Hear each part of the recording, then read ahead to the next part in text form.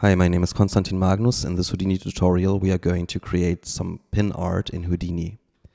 So first of all, let's set up a grid and make sure it's oriented along the XY plane. We can make it a bit smaller and set the rows and columns to 41. We can also switch the primitive type to points only. And next we would like to project our points onto something using the ray node. Let's choose some test geometry like the template body and plug it into the second input. We'll move the grid a bit upwards and put it behind the back of our character and now choose to project them along a vector and these points should be sh uh, traveling towards the z direction and in order to reach the front we use intersect farthest surface.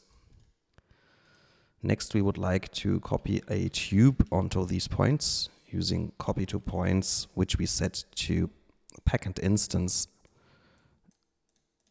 to save some resources. Now the tubes are way too big, so let's make them the radii smaller and their uh, height as well.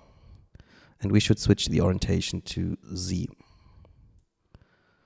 You can activate the caps and dial in the radius so it matches the resolution and doesn't intersect.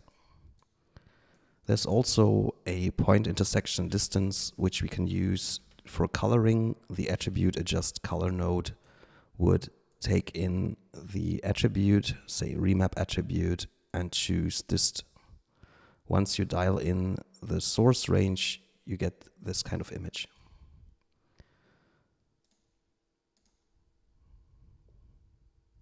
Maybe like so. And maybe like this. Thank you for watching.